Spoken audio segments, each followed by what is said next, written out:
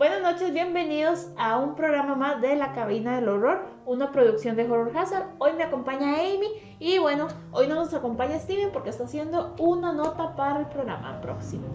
Bueno gente, muy buenas noches, bienvenidos a un programa más hoy viernes 21 de febrero. Eh, muchas gracias por acompañarnos y igualmente le mandamos un saludo a Steven que anda por allá trabajando en, en una nota. Así es, Steven, un saludo por allá. Y bueno, ahorita vamos a conocer lo que tendremos de rifa para esta semana.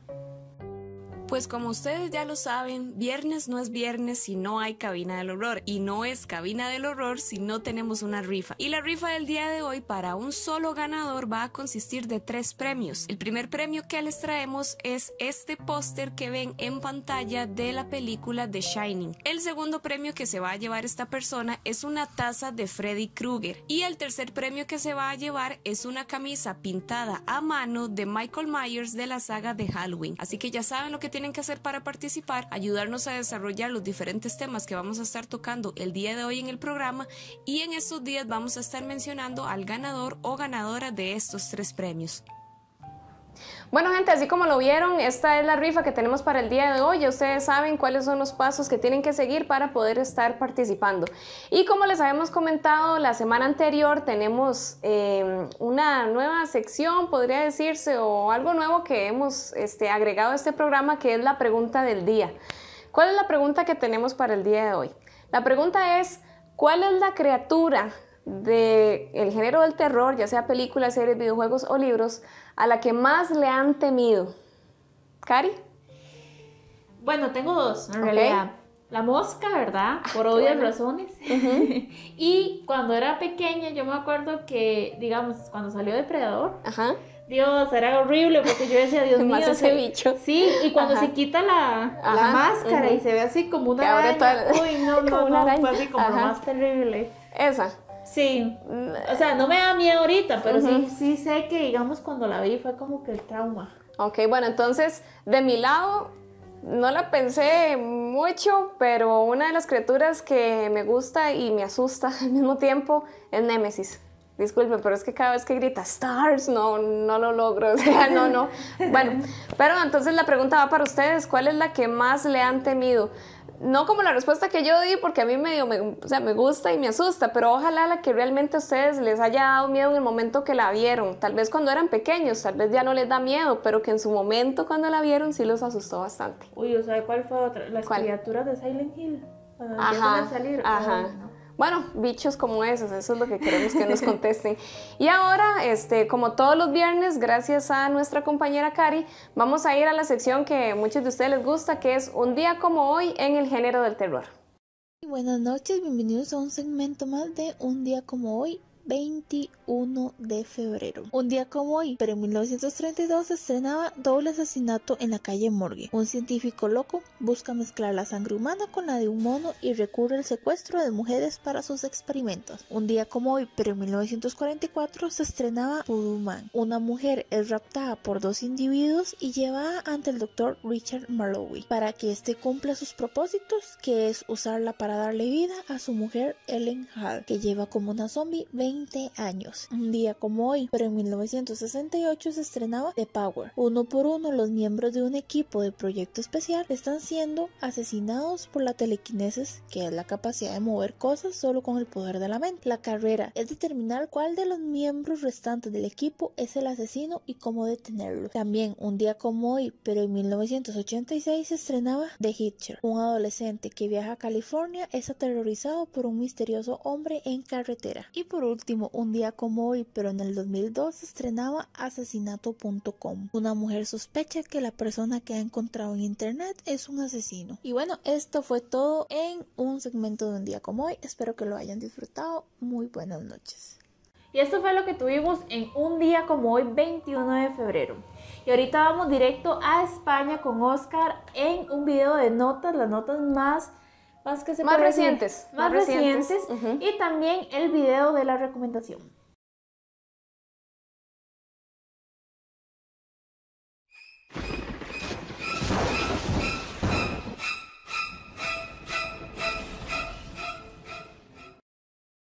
Estrenos. Countdown. Una enfermera descarga una aplicación que le dice cuándo va a morir. A partir de ese momento luchará por sobrevivir. Documental The Mothman Legacy. Los avistamientos del hombre polilla continúan hoy en día y este documental cuenta más sobre estos fenómenos que a fecha de hoy continúan siendo un misterio. In Search of Darkness, documental que revisa todas esas películas antológicas de los 80 que nos marcaron una época, junto a muchos de sus directores y protagonistas que serán quien nos la relaten de primera mano. Videojuegos, Darbunk.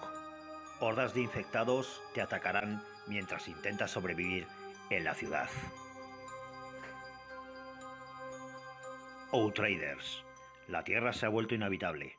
Una nave llena de colonos exploradores deberán encontrar un lugar donde vivir frente a muchas amenazas. Corrupción 2029.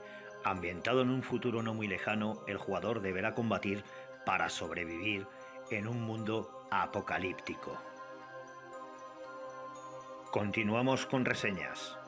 Luke and Kay. Tras la muerte de su padre, los hijos de Luke regresan a su casa donde estarán peleando contra la magia y los horrores con los que tendrán que terminar.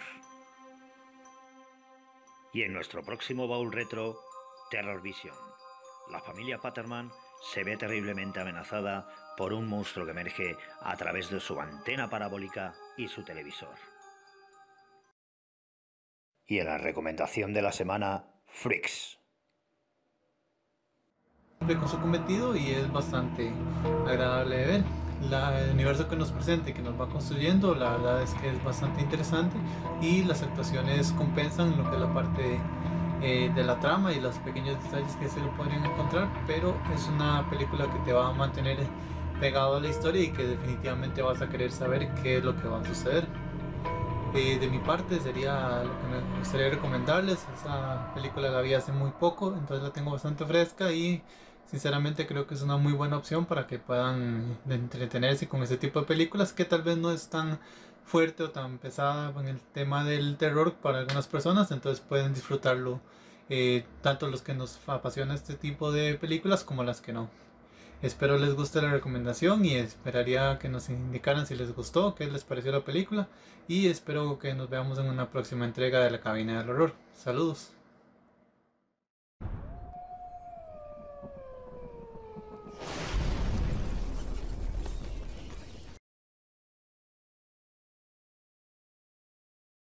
Bueno, muchas gracias por continuar en sintonía y como siempre, muchas gracias a Oscar por colaborarnos con el video de las notas de la semana. Y ahora, bueno, vamos a entrar al, tema que tenemos preparado para hoy. Em, hace dos semanas, cuando comenzamos con el nuevo formato de la cabina del horror, eh, ustedes recordarán que visitamos el Museo Nacional, ¿verdad? Visitamos el Museo Nacional por la historia que tiene ya propiamente acá en Costa Rica, pero más que todo por ¿qué se puede decir? Por ciertas experiencias paranormales. Por acontecimientos de terror, digamos. Acontecimientos de terror, sí, que ustedes ya saben que eso es lo que nosotros andamos buscando, y no solo, o sea, y no solo cosas paranormales que tal vez pasan ahorita, sino historias de terror, porque sabemos que fue una penitenciaría, ¿verdad? Exacto, sí, no solamente de fantasmas, ¿verdad?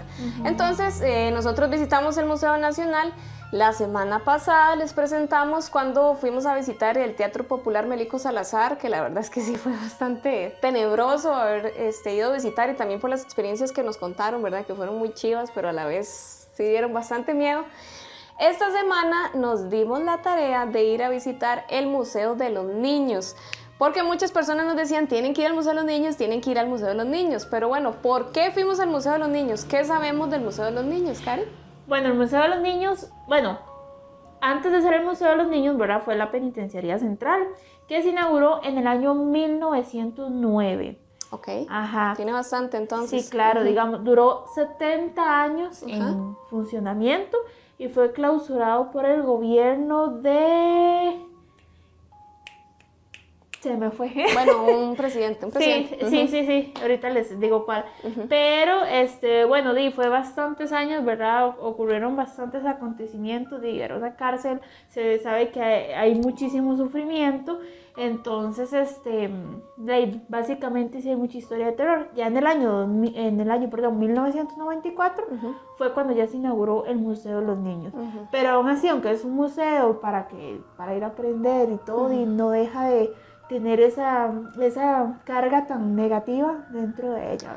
De hecho, bueno, para las personas que han visitado el Museo de los Niños, eh, bueno, ya su nombre lo dice, ¿verdad? Está dedicado a, a entretener, a educar a los niños, pero también tiene su sección de historia. ¿Verdad? No solamente es sobre juegos y aprendizaje, eh, también tiene su historia donde tienen las cárceles, ¿verdad? Donde tienen un poco sobre todo lo que sucedió hace muchos años, sobre lo que los reclusos escribían en las paredes, como nos contaba Steven del Museo Nacional, que también está. Entonces sabemos que es un lugar que hubo mucho sufrimiento, sabemos que es un lugar que tiene muchos este, testimonios de ciertas personas que han trabajado ahí, también personas que en algún momento lo visitaron y vieron algo extraño. Eh, son muchas cosas las que hemos leído por internet, que nos han contado también personas del, propiamente del proyecto de Horror Hazard. Y pues por supuesto que esa es la historia que andamos buscando, aparte de la historia ya normal de, de, lugar aquí en Costa Rica, eh, nos vamos más por el lado paranormal. Ya ustedes saben que estas notas no son de que somos investigadores paranormales, sino que nos gusta ir a hacer un reportaje sobre el lugar para que conozcan la estructura, las personas que no, no, lo conocen, los que nos están viendo de otros países, ¿verdad? Para que conozcan un poco más. Y también una que otra historia que nos puedan contar, ¿verdad? Las personas que nos, que nos encontramos. Entonces, en este momento, este, sin más, vamos a, a, enviarlos a la nota que hicimos, Cari y yo, que fuimos a visitar este Museo de los Niños para que vean todo lo que nos encontramos y todo lo que logramos que nos contaran.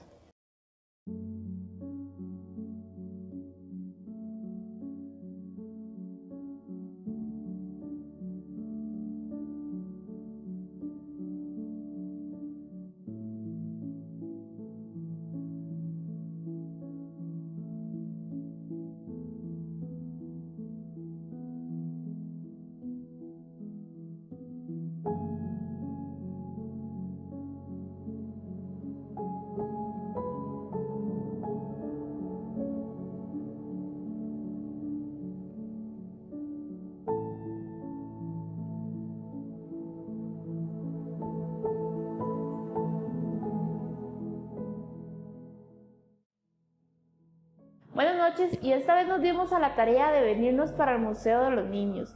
El Museo de los Niños se divide Museo de los Niños y Museo Penitenciario. Esta vez estamos acá en el Museo Penitenciario conociendo un poco de la historia. Recuerden que fue una penitenciaria durante 70 años y la clausuró el gobierno Carazo. Entonces, este, bueno, después se convirtió en 1994 en el Museo de los Niños.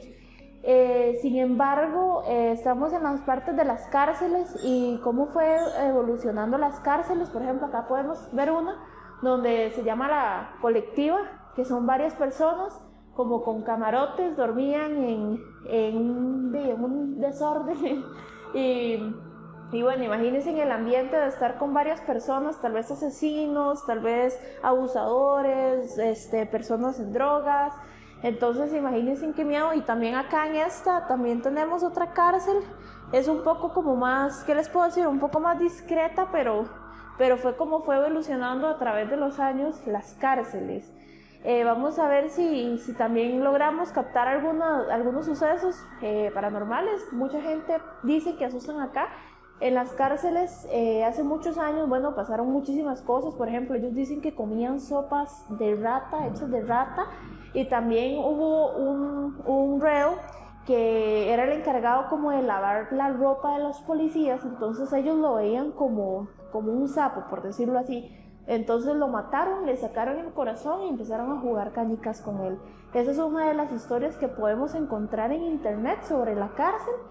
Y bueno, imagínense, si eso pasó antes, yo me imagino que ahora pues esas son cosas que quedan acá encerradas, entonces vamos a ver si es cierto, si aquí pasan cosas o no pasa nada.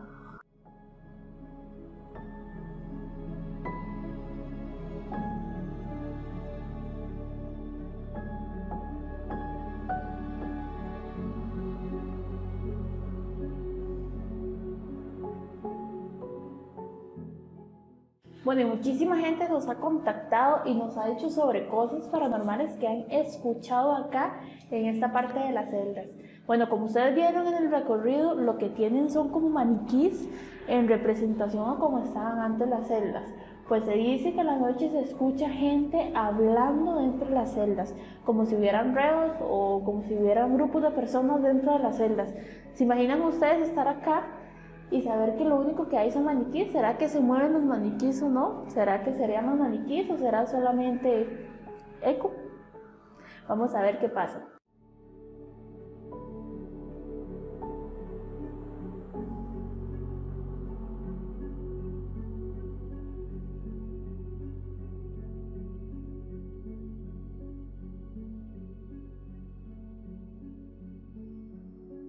Bueno, y estamos en uno de los lugares donde los reos, digamos, se podían comunicar mediante formas de expresión.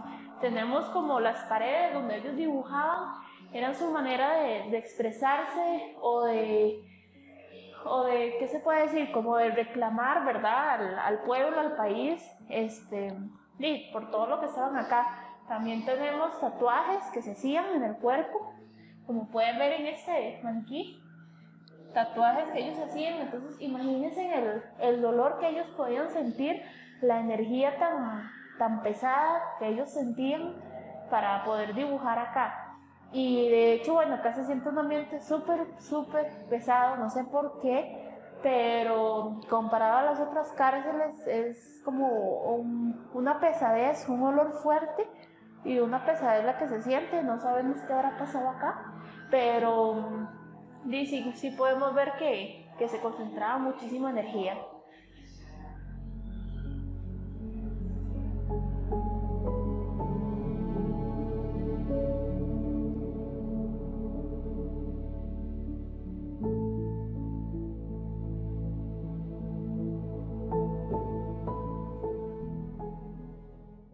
Bueno, y hablando con uno de las personas que trabajan acá, que por obvias razones no podemos mostrar en cámaras, nos dicen que el museo, bueno, la antigua penitenciaría estaba constituida por varios pabellones.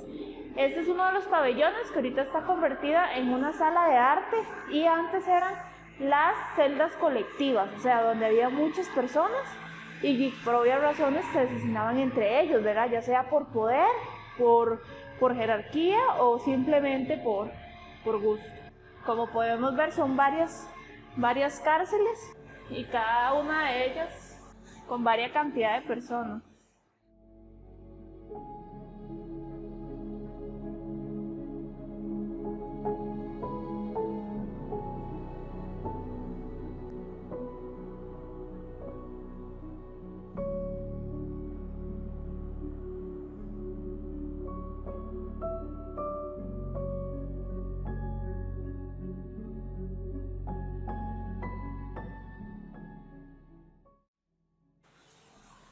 Y estamos en uno de los pabellones de la penitenciaría donde dicen que cerca de acá aparece una niña o la silueta de lo que parece ser una niña. Caminando por los lugares, los guardas llegan y pues no hay nada, ¿verdad? Principalmente en horas de la noche o durante muchas funciones en eventos que se hacen acá. Pero ¿cuál es el origen de esta niña? Se dice que antes de ser una penitenciaría fue una cárcel para mujeres y menores de edad. Luego, eh, a través de los años, las mujeres fueron trasladadas, pero durante todos los años quedaron menores de edad y, ya hombres. Los menores de edad eh, eran más que todo castigados por una ley que había que se decía no vagancia. ¿Qué, ¿De qué trataba esto? Que si usted no vivía en un parque sin hacer nada y no tenía una orden patronal donde se veía que usted trabajaba o algún documento donde justificaba el por qué usted estaba haciendo, ah, o sea, qué estabas haciendo ahí, entonces te ingresaban a la cárcel por cuatro o seis días. Imagínense ustedes por, no, por, por vagancia ir a la cárcel. También a personas borrachas ingresaban a la cárcel sin derecho a defenderse. Entonces, por ahí puede venir la historia de la niña que aparece acá en el Museo de los Niños.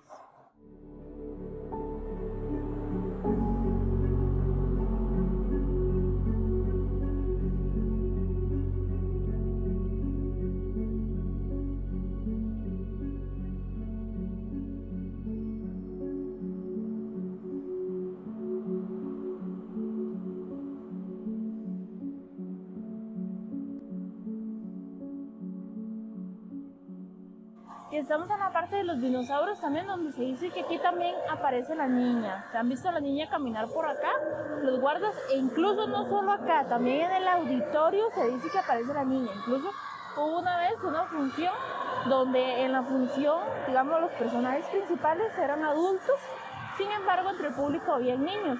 Y muchos niños aseguraron a sus padres que se habían visto a la niña, la niña dentro del escenario. ¿Cuál niña? Nadie vio a la niña, nada más que los niños y una de las bandas más temibles de la penitenciaría central eran Los Hijos del Diablo. Los Hijos del Diablo fueron una temible banda de costarricenses que se formó dentro de la penitenciaría central, lo que es hoy el Museo de los Niños. Sus integrantes casi nunca daban sus nombres, por lo que eran conocidos por sus apodos. Entre ellos estaban la Nera Wilson, Salchicha, Papa Diablo, Gogo, Mordisco Mono, Mamá Zapa, Canalete, Chito, El Renco, Gato Flaco y sus líderes eran Caballón y Pico Pala. La banda nació a principios de los 70 dentro de la Penny, donde había más bandas como los Escorpiones Negros y los Nietos del Demonio. Caballón y Pico y Pala, líderes cada uno de su propia banda, decidieron unir fuerzas para según ellos darle orden a la cárcel y cuidar a los humildes y a los débiles. En una serie de reportajes el renacer del ex convicto de un conocido canal acá en Costa Rica, se entrevistó en el 2013 a Luis Gerardo Quesada,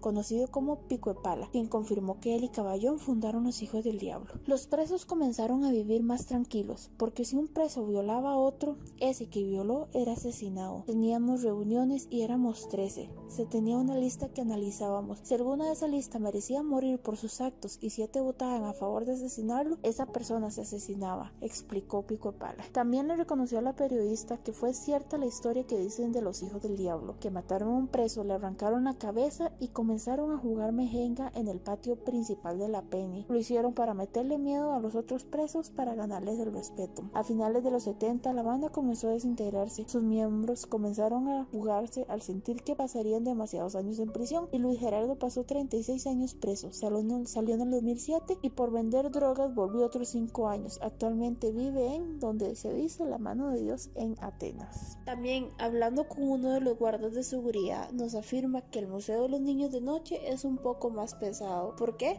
Bueno, les aconsejan a ellos a la hora de la noche y a las horas que les corresponden hacer las guardias, nunca hacerlas solas, sino hacerlos acompañados. ¿Por qué motivo? Por el motivo de que en la noche la mente juega con cada uno de ellos y cuando se ponen a pensar en todo lo que ha sucedido ahí y todas las personas que han muerto, empiezan a tener un poco de miedo y esto produce que escuchen cosas o vean ciertas cosas también. Entonces, ¿qué puede ser más tenebroso para un guarda de seguridad? ¿Ir a hacer un recorrido o estar a cargo de las cámaras de seguridad? Ya que también los guardas que están vigilando cámaras de seguridad son susceptibles a ver cosas en las cámaras. Pero no solo durante la noche, durante el día, a pesar de que hay gente, también suceden cosas, como por ejemplo el guarda que está en el estacionamiento, nos dice que en el antiguo bar y restaurante El Titanic, que se encuentra en uno de los estacionamientos del, del Museo de los Niños, nos dicen que también él escucha cosas o ve cosas ahí, aunque se sabe que está en total abandono. Quizás es rentado algunas veces para actividades, pero en realidad el lugar no tiene por qué haber nadie y él afirma que a veces estando ahí escucha como si hubiera gente o si estuvieran construyendo dentro del lugar. Ahora, ya que sabemos tanto por dentro, como por fuera del Museo de los Niños es un poco tenebroso, ¿a qué te animarías más? ¿Estar a las 12 de la noche adentro o por fuera?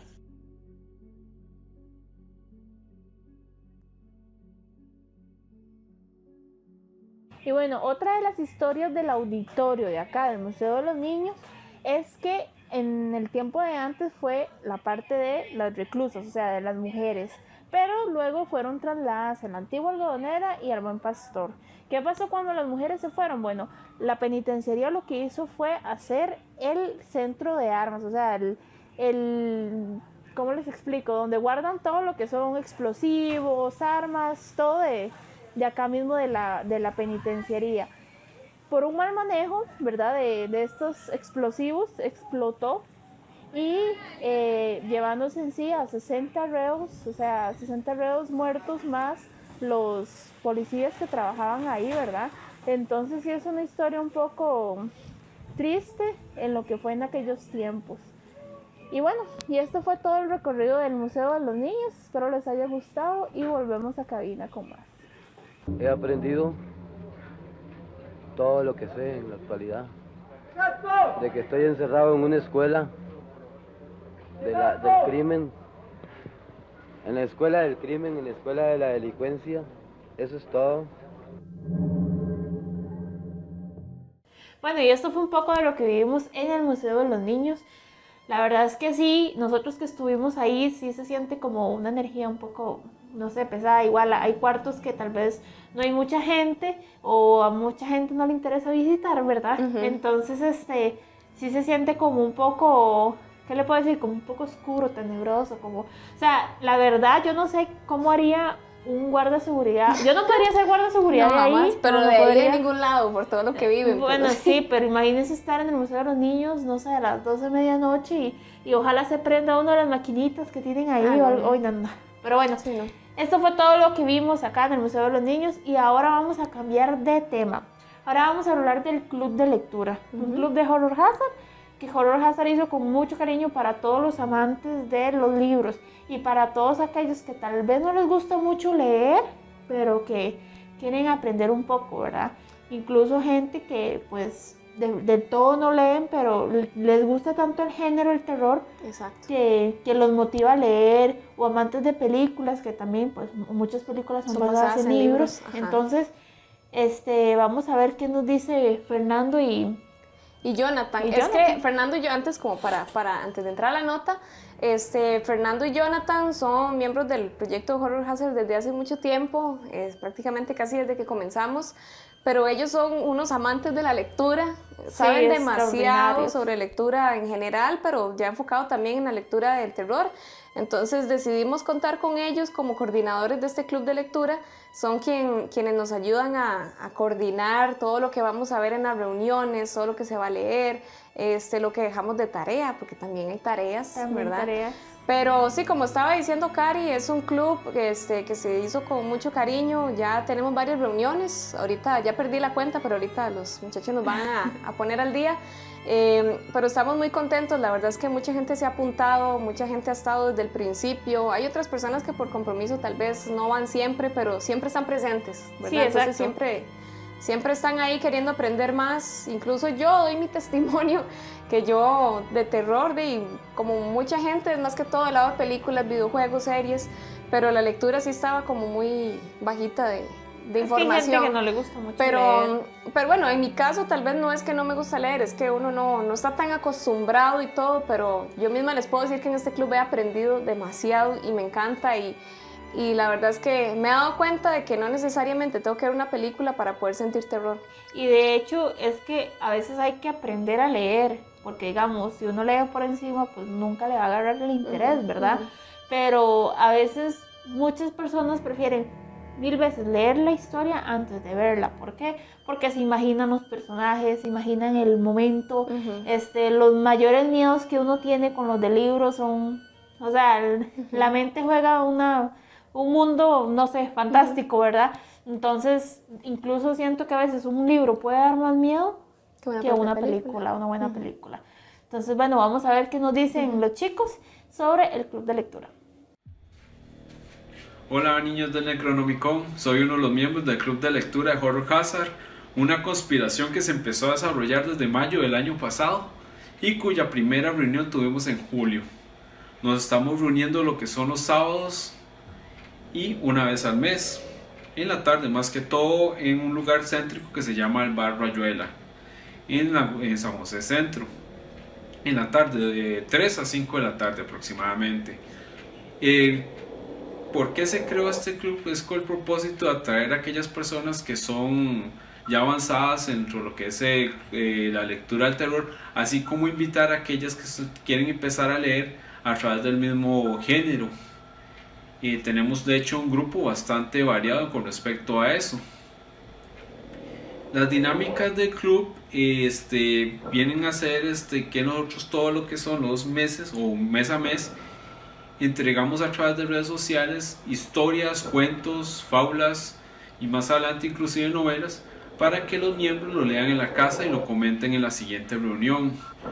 Otra de las dinámicas que nosotros tenemos dentro del club es que entregamos un libro de Edgar Poe a uno de los miembros, lo lee en la casa y al, lo que es en la siguiente reunión sugiere a otro miembro del club qué lectura debería leer o le hace una sugerencia de cuál de los cuentos le gustó o le gustaría que lo lean para que lo comenten en la siguiente reunión y así sucesivamente. También dentro de lo que es el mismo club eh, estamos también pasando eh, cortos relacionados con libros o cuentos de terror. Este club sí lo estamos desarrollando para mayores de 12 años. El mismo club, bueno, nos hemos estado expandiendo o incluso una de las cosas que nos gusta o me gusta de ese club es que se conoce bastante sobre autores, vemos o incentivamos a los diferentes miembros a que nos sugieran algún autor, alguna historia que en un momento les llamó la atención y lo comentemos dentro de la reunión o dentro de futuras reuniones. Por ejemplo, una de las, uno de los miembros sugirió, por ejemplo, a Thomas Hardy, que para muchos era desconocido, y se desarrolló como parte de las tareas del club. Dentro de los autores que hemos tocado ha estado uno que se llama Ray Bradbury, un clásico. Él escribió la novela Fahrenheit 451. También hemos tomado a Robert Bloch, famosísimo por aquella película de psicosis o el padre de lo que son algunos de los autores modernos de terror, como Richard Matheson, conocidísimo por, la, por las versiones fílmicas de sus cuentos, en especial Soy leyenda, El último hombre en la guerra, eh, perdón, El último hombre en el planeta, que es este de Vincent Price, por ejemplo.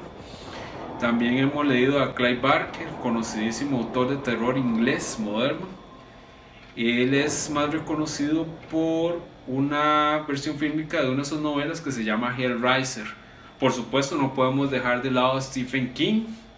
Hemos leído el relato de 1408, de hecho, de este mismo autor. Y aparte de eso, también hemos, hemos inclusive dado, como te digo, tributo a este gran autor de ciencia ficción, Isaac Asimov, en algunos de los cuentos que más se asemejan a lo que es el género de terror. A través de los miembros nos hemos dado cuenta de autores buenísimos, de hecho, que no conocíamos, como es el caso de alguno de Thomas Ligotti, que es un autor norteamericano muy famoso, muy respetado de lo que es el género de gótico terror moderno, que es casi una eminencia. También no hemos dejado de lado a grandes como Howard Phillips Lovecraft, increíble, el llamado Cthulhu y lo que es también otro que es bastante clásico bastante conocido, que es en el caso de Hodgson, un inglés de hecho antes de Lovecraft, que escribió lo que fue la trilogía del abismo. A mí en lo personal me encanta esta experiencia y los invito a ustedes que se nos contacten a través de redes sociales para vivir acerca y conocer lo que es el género de terror en literatura.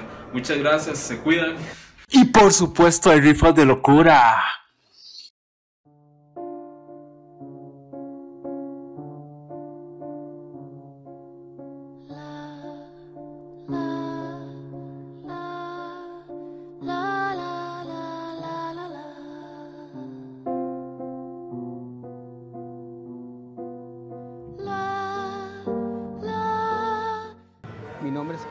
Soy de Cartago, soy miembro del Club de Lectura de Horror Hazard. El Club de Lectura me ha parecido un, lugar muy interesante donde se puede compartir este, lo que uno tiene de conocimiento sobre literatura, de terror, y me parece excelente.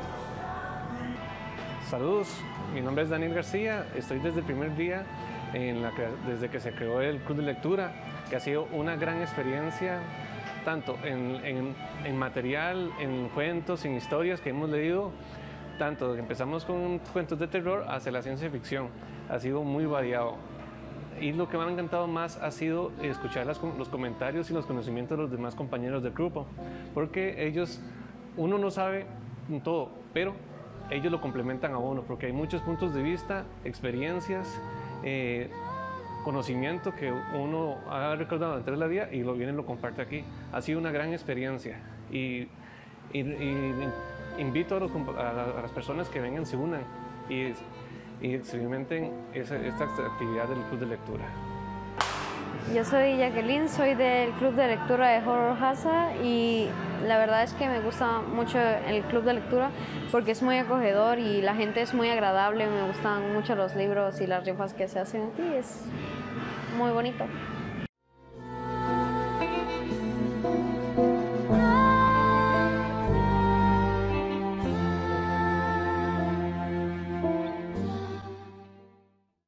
Bueno, gente, muchas gracias por continuar en sintonía y gracias a Fernando y a Jonathan por darnos esta información tan valiosa del Club de Lectura.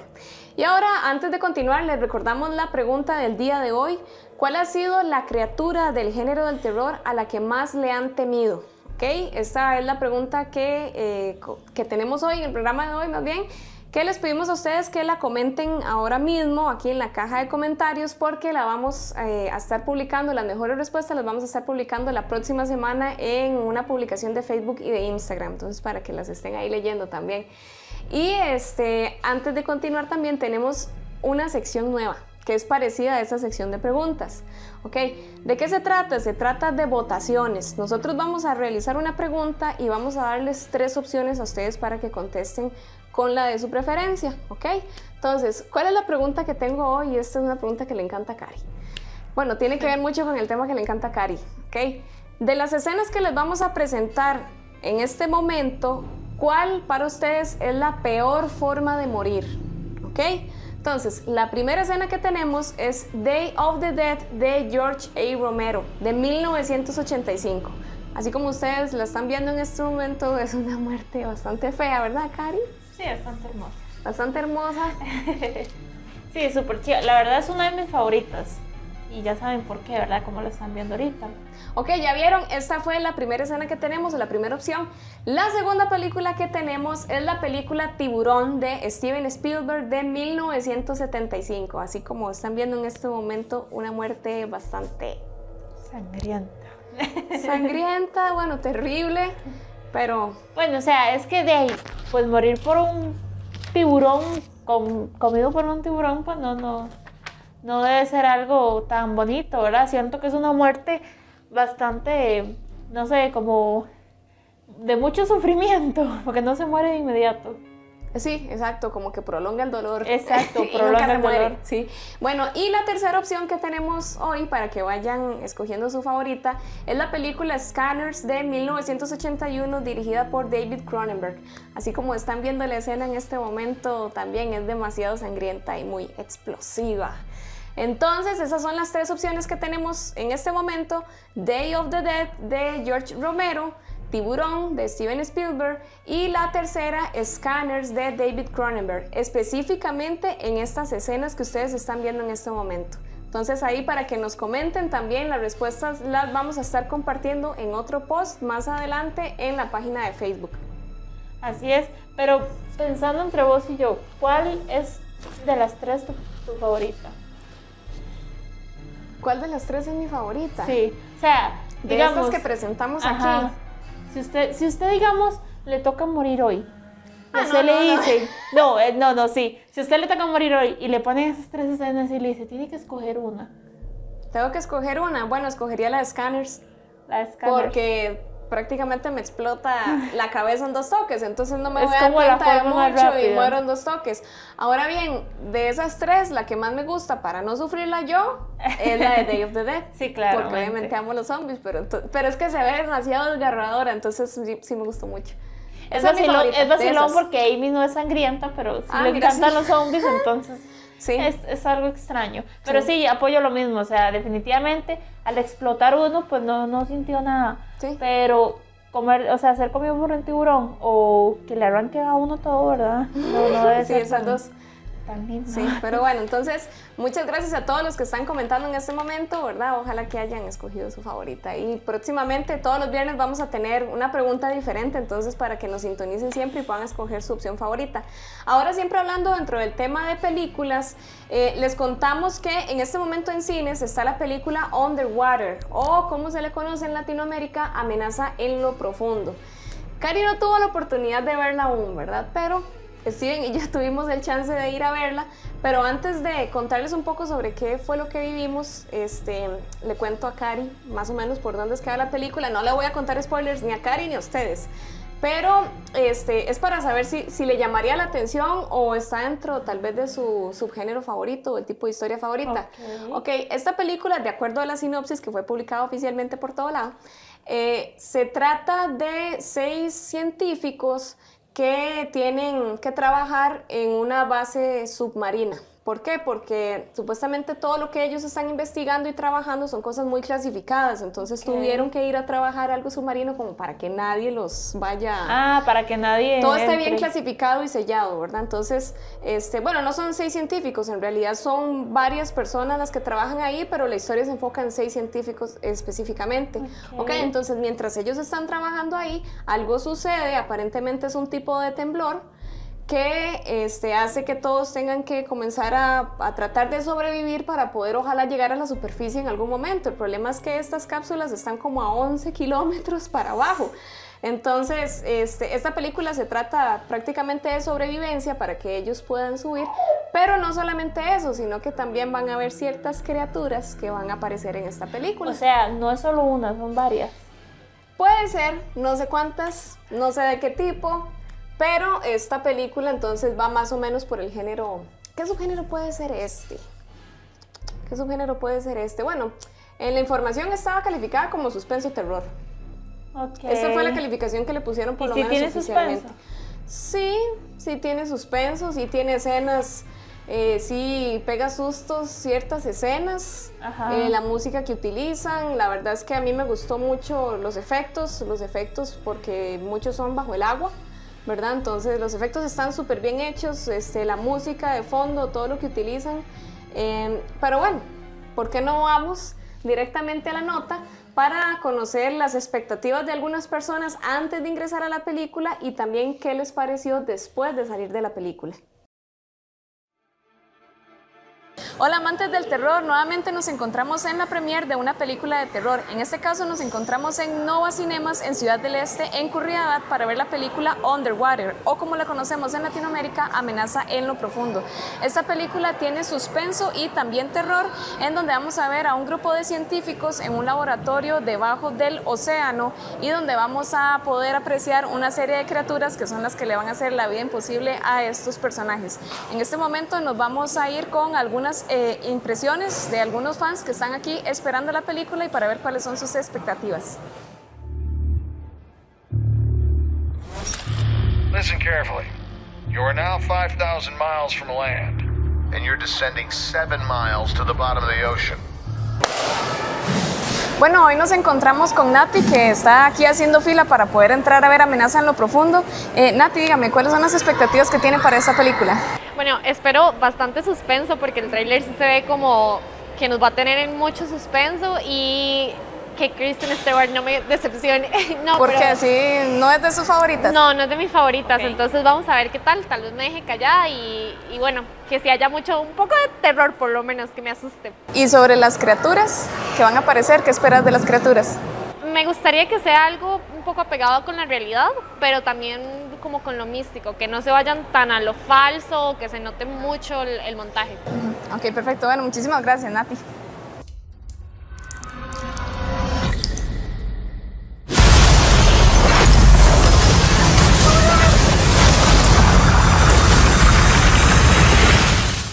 ¿Qué pasaría si te coloco esta imagen? O te coloco esta otra. Si sentiste una extraña sensación o una extraña vibra, posiblemente padezcas de talasofobia, que es el miedo irracional al mar y sus profundidades. Y es que justamente es lo que trata de atacar esta nueva película, Underwater, película protagonizada por Kristen Stewart y un elenco bastante interesante que nos dará una variedad de personajes. Aunque esta variedad de personajes se siente un poco opacada por el poco desarrollo de estos mismos. Underwater creo que es una película que se trata de referenciar en otros clásicos del género, puede ser Odisea o puede ser Alien. Creo que hay varias referencias que ustedes pueden captar si la van a ver. Claramente los estamos invitando a que se acerquen y saquen sus propias conclusiones, pero antes de eso les voy a tratar un poco de qué trata. La historia sigue a un grupo de investigadores submarinos que quedan atrapados a miles de metros bajo el mar. Luego su estación queda completamente destruida por un terremoto. Y como si estar incomunicado y estar bajo el mar de tantos metros de profundidad, en su intento por sobrevivir y escapar de la estación, deben enfrentarse a extrañas criaturas que viven debajo del mar. Si pudiera describir esta película en una sola palabra, diría que es un poco apresurada. No me había ni sentado bien en la butaca cuando ya estaba empezando la acción. No sé si esto es precisamente bueno o malo. La verdad es que los dejo completamente a su criterio, pero lo que sí puedo rescatar mucho de esta película es la ambientación que dieron cuando los personajes están bajo el mar. Completamente se siente esa atmósfera de estar atrapado, de estar presionado por el mar y con esa profundidad que casi no llega a luz, creo que es como lo más que trata captar esta película. Creo que es muy diferente tratar de ambientar una película en el espacio que en el mar. En este caso en el mar lo hicieron excelente. Y como esta reseña es sin spoilers, no les puedo dar mucha más información sobre esta película, más que la vayan a ver y que ese final la verdad es que deja un giro inesperado, que podemos ver algo que nos puede recordar a cierto personaje que ya muchos conocemos. La verdad es que los invito a que vayan a verla y saquen sus propias conclusiones. Nos pueden comentar en nuestras redes sociales de Horror Hazard qué les pareció esta película. Les ha hablado Monge en una nota extra y nos vamos para cabina.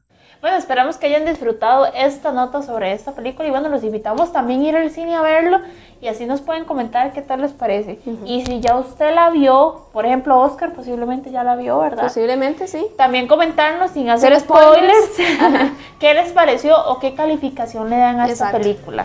Para los amantes del suspenso tal vez les guste, tal vez a otros no, entonces vamos a ver qué pasa, ¿verdad? Y ahora vamos a hablar de una persona que tiene un talento inimaginable y es Jason. La verdad es que, bueno, acá sabemos que hay muchas personas con talento en diferentes ramas, pintura o creación de ciertas cosas. Artesanía. Hasta comida, hasta, comida, de terror. Entonces, este, pues bueno, nos dimos a la tarea de, de hablar un poquito con Jason eh, de lo que significa arte pop para él y todo lo que todo lo que genera porque podemos ver un cuadro súper lindo pero que, qué pasa a través qué se le ocurre a él a la hora de pintar la inspiración también la inspiración que tiene este Jason para pintar estos cuadros, porque no solamente son cuadros, ¿verdad? Él pinta muchas cosas como bancos, por ejemplo, yo tengo dos en mi casa que son perfectos, eh, pero este es demasiado el talento que tiene Jason, la verdad es que es una persona eh, súper buena gente, súper talentosa, súper simpático, él siempre nos, nos, colabora, siempre está apoyándonos y la verdad es que estamos súper orgullosos de que él sea parte de este proyecto de Horror Hazard y también del talento tan grande que tiene y que por fin vamos a poder hacer una nota sobre él para que ustedes conozcan un poco más. Él nos ha acompañado en varios stands, en los eventos de Horror Hazard también, nos ha acompañado también en, en otros programas de la cabina del horror y ahora por fin vamos a tener el chance, ¿verdad?, de conocerlo un poco más. Sí, claro, Jason es una persona súper talentosa y bueno, como dice ahí, no solo cuadros, en realidad con cualquier cosa que él vea, él, bueno, puede hacer un arte súper, súper chiva, ¿verdad? Entonces, bueno, vamos a ver lo que nos dice Jason sobre arte popa y todo lo que significa para él. Buenas noches, amigos de Horror Hazard, amantes del terror, amantes de este género tan grande, con tantas ramas, ¿verdad? Eh, mi nombre es Jason Villalobos. Eh, mi proyecto es el proyecto de Arte Popa. Ya muchos deben de conocerlo, los seguidores de la página, porque ya voy como para un año de, ser parte de Horror Hazard, este, con lo que ha sido en el stand. He llevado stands a las maratones y he tratado de estar cerca mientras he podido de Horror Hazard, apoyando, este, ayudando en, en, generar temas para, los programas. Eh, la verdad soy un amante del terror desde muy niño. Creo que una vez les comenté que desde chiquito me llamaba la atención Freddy Krueger, Hellraiser y desde ahí, desde pequeño, despertó ese, ese amor por el género del terror.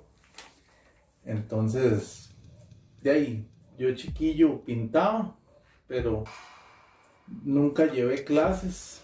La verdad, nunca fui, como se conoce, como autodidacta. Cuando era joven, eh, por motivos de trabajo y demás, no seguí en, en el dibujo ni en la pintura porque me apasionaba mucho, pero tenía, yo, yo empecé a trabajar muy joven y entonces dejé eso a un lado, que a veces es un error, ¿verdad? Pero la vida me, me dio otra segunda oportunidad y ya les comentaré más adelante. El rock, yo, yo digo popa trazos de horror y rock. ¿Por qué mezclo yo el rock con el, con el terror? Va muy de la mano para mí, como todos sabemos, este, en las películas de terror, la mayoría de, de música que ponen es rock, ¿verdad? Eh, y aparte de eso, es la música que a mí me gusta. Me gusta mucho el rock clásico, el, el metal, algunas bandas de metal, algunas bandas de, rock clásico, de grunge, este, rock alternativo de los 80s, 90 me encanta. Y cada vez que pinto esto, cada vez que me pongo a pintar, pongo música, me relajo, porque aparte que esto me encanta, me da, me da mucha, este, mucha paz poner música, relajarme, pasar el pincel, este, pasar el lápiz. O sea, es algo que, me, apasiona de verdad. Y de ahí, como les comenté antes, eh, los productos que ofrezco, digamos, que, que ahorita tengo y que llevo a las ferias casi siempre, a las maratones y a ferias de emprendedores he ido también en el lado de Coronado, eh, que ya ahora no estoy ahí porque estoy trabajando, entonces tengo que ir acomodarme con el trabajo y demás, ¿verdad? Pero básicamente son estas pinturas. También tengo imanes pequeños que tal vez los han visto en mi página de Facebook o en las maratones, ¿verdad? Eh, trato siempre de, buscar temas de, de, o de terror, de bandas como este pequeño que es de, de Eddie, Iron Maiden. También tengo a, aquí a Cultú, Cultú de Lovecraft. Este, esta que es la chineada mía, ¿verdad? Es este la pintura de leyendas que espero el día de mañana hacer muy famosa, ¿verdad? Cuando, cuando tenga ese, ese, esos estudios y esas cosas que uno requiere para darse a conocer como artista. Yo la verdad, soy sincero, estoy empezando, estoy empezando en esto y tengo la pasión, tengo las ganas, pero me falta aprender muchas cosas, técnicas, colores, este, teoría, teoría del arte, que no es solo pintar, el arte no es solo pintar eh, las cosas que uno le apasionan, sino saber también, saber de teoría, saber qué es arte contemporáneo, saber qué es el, barroco, qué es este, saber de pintores. Yo tengo muchos pintores favoritos que ahorita les voy a comentar y, y esto es lo que a mí me encanta, la verdad. Eh, ahora estoy llevando clases. Este año empecé clases, desde noviembre más o menos empecé clases en la casa del artista. Ahí llevé un curso libre de pintura eh, acrílico, se puede decir, donde hice un bodegón. Eh, que no es del, tema de terror, pero uno tiene que aprender a pintar de todo, ¿verdad? O sea, no solo de terror. Yo me quiero especializar en eso.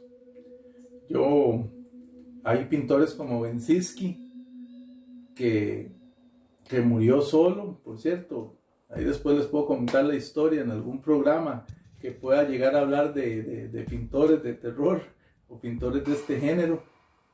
Este, y él pintó terror, pintó lo que él tenía en la mente, cosas muy, pueden buscarlo, buscar sus pinturas, buscar este, la historia este, hay otro, Marius Lewandowski, que es muy bueno también.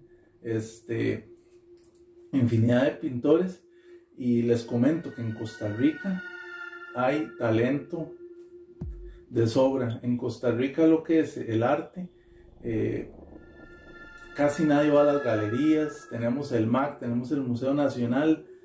Tenemos que visitar más, tenemos que apoyar más el arte. Eh, los amantes del, del terror a veces dicen, hombre, es que voy a encontrar yo en el museo algo de terror. Yo que empecé en la casa del artista, me encontré unos cuadros que ahorita seguro van a ver las imágenes o si no ya las vieron. Eh, se ve, se ve la calidad, este, esas pinceladas perfectas, ese aprendizaje del color, tantas cosas bellas que plasman en, esos lienzos que yo cuando lo veo la verdad me emociono más porque yo quiero ser igual o mejor, ¿verdad? La idea mía es este, llegar a un nivel así, muy grande. Ahorita yo tengo un, estilo que la verdad es un, poquito parecido al, a lo que se podía conocer como lo que hacía Picasso, ¿verdad? El cubismo. Es un poco mi estilo, pero yo busco un cubismo más tirado hacia el terror, ¿verdad?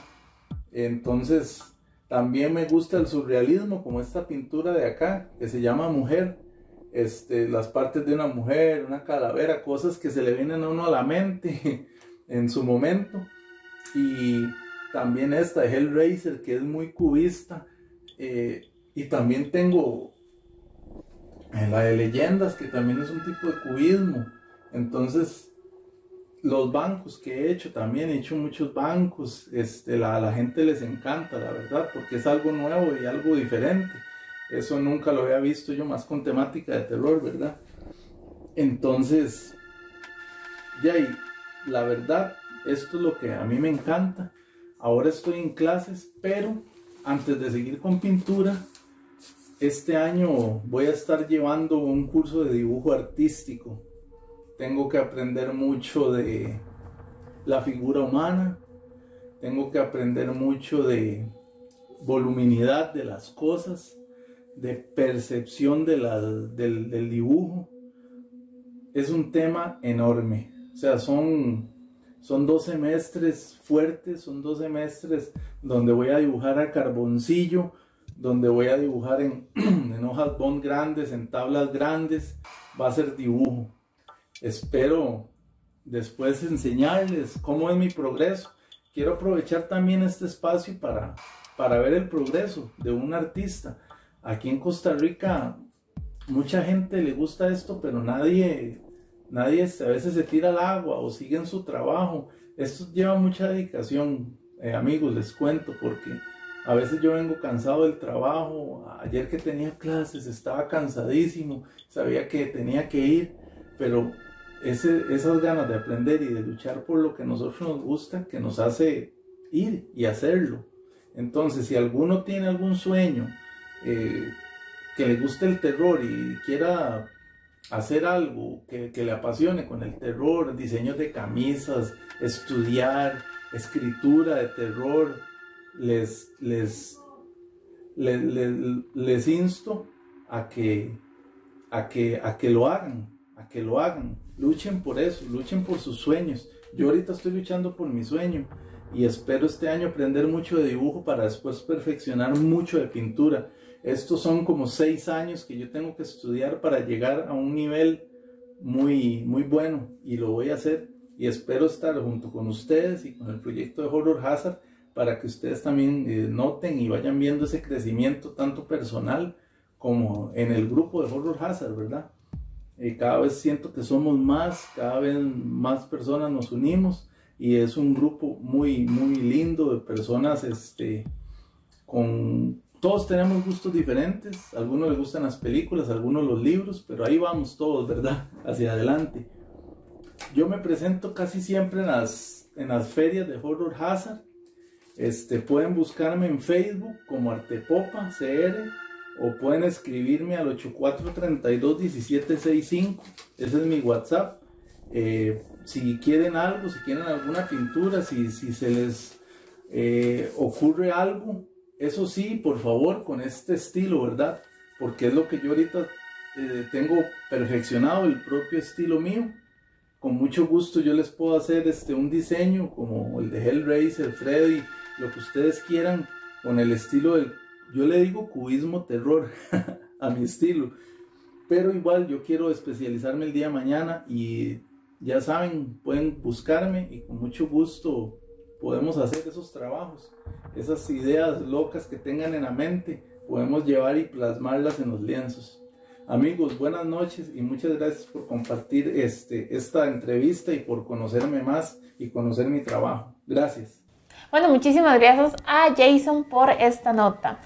Y ahora les tengo una noticia a todos los amantes del cine. Vamos con el Club de Cine mañana 22 de febrero. Para todos aquellos amantes, va a ser en Café Rayuela de 3 y media a 5 y media para mayores de 15 años. Y esto, bueno, si usted quiere ir al club de cine, entonces nada más nos puede escribir un mensaje al... Al número que van a estar viendo en pantalla, que es, igual se los voy a decir, 8349-0203. Así es, entonces nada más le escriben un mensajito ahí y le dicen, yo quiero ir al club de cine. Eh, ahorita quedan bastantes espacios todavía, entonces no se lo pueden perder. Ahí va a estar también Fernando ayudándonos. Ya tenemos bastantes integrantes, la verdad. Y no solo películas, también cortos, este, hablar un poco. exacto, aprender, o sea, aprender un poco. En realidad todos somos fanáticos y, y amamos el cine. Y como un segundo anuncio es que, bueno, ya se los hemos estado anunciando desde enero incluso, es que este próximo 29 de febrero en Sala Garbo vamos a estar proyectando junto a mi Butaca Cine Club en Sala Garbo la película La Profecía, la de 1976. Como ya les habíamos comentado, ya está en preventa. Usualmente no hay preventa, pero esta vez sí hay preventa, así que desde ya pueden ir comprando sus entradas. Ya les hemos pasado la información también por, por las redes sociales para que aprovechen porque recuerden que no es numerado. Así que es capaz que se quedan afuera, porque ya ha pasado en varias películas que se han proyectado en Salagarbo. Entonces, para que aprovechen, recuerden también que este, tenemos una rifa. Estos días vamos a estar anunciando nombres de ganadores de entradas individuales también para la Sala Garbo de parte de Horror Hazard. Entonces, para que aprovechen, pero por si se quieren ir adelantando por aquello de que no peguen, ¿verdad? Entonces ya ustedes pueden, pueden ir y este, comprar durante la preventa. Entonces ya lo saben, es 29 de febrero a las 6 de la tarde. Y bueno, ahora tenemos un anuncio muy especial que le toca a mi querida compañera Cari anunciarlo. ¿Qué será, Cari? ¿Qué será? Voy a pensarlo. bueno, les tengo una super noticia para todos aquellos que nos acompañan a los eventos. Yo me imagino que ya se imaginarán qué es. Y sí, es una maratón de terror, la cuarta maratón, de, terror de, Horror Hazard. Entonces, para, están súper invitados todos. La entrada vale 2.500, pero ¿cuáles son las películas? Bueno, la primera va a ser La Mosca. Imagínense qué clásico de película, ¿verdad? La segunda va a ser Hellraiser. O sea, o sea, Ahí vamos bien. sí, Me falta la tercera. La tercera es el silencio de los inocentes. O sea, lo es otro nivel de maratón. En serio, no se lo pueden perder. Tres películas icónicas. Icónicas y a 2500 las tres películas. Y no solo no solo eso, o sea, también van a haber stand, van a haber ventas de comida, van a haber concursos, y va a haber hasta una regalía en la entrada, imagínense. Entonces, para que aprovechen, ya desde ya lo estamos anunciando, pero muy importante, ¿cuándo es? ¿Cuándo será la maratón? Mañana, no, mentira. ¿cuándo es? ¿Cuándo es? La maratón va a ser el sábado 2 de mayo. 2 de mayo, vea, estamos con tiempo. Bastante tiempo. O sea, hoy es 21 de febrero, tienen bastante para poder ir agendándolo, ¿verdad? Ese sábado. Este, algo importante, digamos, ya ahorita ustedes saben cuándo es, ¿ok? Ya saben qué día tienen que agendar. En estos días, en estas semanas, vamos a estarles anunciando que se abre la venta de entradas. ¿ok? Entonces, recuerden que son 100 espacios, ¿verdad? Y son 100 espacios numerados. ¿ok? Nosotros sí los vamos a tener numerados. Y entonces la idea es que ustedes se contacten con nosotros para que ustedes me digan, ok, quiero este, este y este espacio. Ok, entonces así ustedes escogen a dónde se van a sentar, no importa la hora que lleguen, no importa si se levanta un momento para ir al baño, nadie les va a quitar nunca el campo, ¿verdad? Ya ustedes saben cómo funcionan, los que siempre han ido ya saben cómo funcionan las maratones. Pero algo muy importante que no hemos dicho, aunque ya tal vez se lo imaginarán, dígame dónde va a ser. Ah, sí, muy importante, los datos muy importante. al final. Ok, a los que no han ido, es en el Salón Comunal de San Gerardo en Guadalupe. Bueno, hay mucha gente que ya sabe dónde es, pero para darles una idea, este, queda en Nova Centro, del lado donde descargan este, los camiones del más por menos. Como detrás del más por menos. De, como detrás del más por menos de Nova Centro. Entonces es en San Gerardo, bueno, por ahí queda el barrio Santa Cecilia y todo eso, pero es prácticamente en Guadalupe, casi centro. Entonces, para que aprovechen y nos acompañen, la verdad es que sí queremos que, que todos vayan. Eh, como dice Cari, estamos cambiando el nivel de las maratones de terror, queremos películas que usualmente no vemos en televisión y que son icónicas del género, tal vez muchas películas que son icónicas y mucha gente no ha tenido la oportunidad de verlas porque precisamente no salen en tele, cuesta encontrarlas en internet o, de alguna forma no han tenido chance o personas que ya son súper conocedoras y amantes del terror y quieren volver a vivir la experiencia de ver estas películas. Muy importantes, son subtituladas. Por sí, y es que digamos, es algo, hay algo muy importante, aunque digamos ya lo hayan visto una, dos, tres veces y no, dejan de ser clásicos. O sea, son películas que definitivamente no son de esas películas que dicen, ah, no, ya la vi, qué pereza, ¿por qué la voy a volver a ver? No son películas y son 3 por 2500. O sea, en el cine usted no va a encontrar eso, ¿verdad? Jamás. Sí. Entonces, para que aprovechen, de verdad es que este, los invitamos a que nos busquen si tienen alguna pregunta, alguna consulta sobre la maratón. Si usted tiene un stand y quiere participar, escríbanos para ver si le hacemos un campito. Este, la verdad es que queremos que todos disfruten. Claro que sí, nosotros con mucho, mucho cariño vamos a hacer esta maratón para ustedes. Va a haber full decoración de terror también y bueno, venta de artículos, ¿verdad? Sí, terror, como, pines, camisas, tazas, de todo. De todo. Pero bueno, esta es la invitación que les queríamos hacer y ahora queremos darles como una explicación que queríamos sobre este nuevo formato que tenemos en la cabina del horror. Como ustedes han visto, hemos estado haciendo notas, hemos ido a lugares donde supuestamente asustan, ¿verdad? O que nos han contado que asustan y diferentes también reportajes. Sin embargo, no se asusten, no vamos a perder la estructura de este, hablar temas del género como tal, que eso es lo que más nos gusta, ¿verdad? Hablar de películas, videojuegos, libros, este, series y todo esto. Entonces, van a regresar ya los invitados, ya por fin tenemos todo listo para poder tener invitados este, que se sientan a gusto, que puedan compartir con nosotros. Vienen los temas profundos, ¿verdad? Que a ustedes les gusta comentar y dar sus opiniones. Y como siempre, vamos a seguir haciendo notas y reportajes, o sea, eso no va a cambiar del nuevo formato. Vamos a estar creando secciones como las preguntas que les estuvimos haciendo hoy y muchas cosas más para ir implementando cosas nuevas, ¿verdad? Lo que a ustedes les gusta. Si tienen alguna idea, pues háganoslo saber para poderlas implementar en los próximos programas. Exacto. La idea es innovar y, crecer más, ¿verdad? Igualmente, si, como algo que no les mencioné al principio, es si usted tiene algún lugar o, o sea, conoce algún lugar donde les gustaría que hiciéramos una nota, Nada más nos avisa y nosotros vamos. O de alguna persona, por ejemplo, como Jason, este, personas que ustedes saben que tienen talentos o que les gustaría darse un poco más a conocer siempre dentro del ámbito o relacionado al género del terror, entonces que nos digan. Así es. Y bueno. Y bueno, esto es todo por hoy lastimosamente, pero antes de irme, bueno, número uno, recuerden la rifa, recuerden apartar la fecha de la maratón los espero mañana en el club de cine. Vean que un montón de cosas. Y espero que la sala Garbo también. La sala Garbo. Y también recuerden la pregunta del día de hoy. Ajá. ¿Cuál ha sido la criatura en el género del terror que más les, has, les ha dado miedo, que más los ha asustado? Entonces, nada más nos comenten y recuerden que las respuestas se van a estar compartiendo. Y bueno, eso es todo por hoy. Lastimosamente se nos acabó el programa así de rápido, como siempre se nos acaba de rápido pero ni modo, ¿verdad? Muchísimas gracias a todos ustedes por su sintonía y hey, bueno, yo como siempre les agradezco también que estén viernes a viernes con nosotros. Hay mucha gente que siempre nos está dando ideas de qué hacer y todo, entonces se los agradezco montones, montones de gracias también a los redactores, a todas las personas que nos hacen secciones para todo lo que es el proyecto de Horror Hazard y todas las personas que se han estado uniendo en estos últimos meses. Entonces, muchas gracias, este, feliz cumpleaños a la cabina del horror, que ya mañana vamos a estar cumpliendo eh, no mentira, lo cumplimos la semana pasada. Todos los programas, todos los programas cumplimos años, sí. Bueno, pero igual, feliz cumpleaños de nuevo. Recuerden que es el primer año de la cabina del horror. ¿Verdad? No es de Horror Hazard. de Horror Hazard es hasta abril. En abril y dos años. Pero bueno, estamos cumpliendo años. Entonces, igual, muchas gracias por acompañarnos. La semana pasada les agradecimos, pero verdad, muchas gracias a todos los que han estado en todos los programas. Sí, siempre. Muchas gracias de corazón. Y bueno, que pasen muy buenas noches y recuerden, el, terror, nunca estuvo tan cerca. Buenas noches.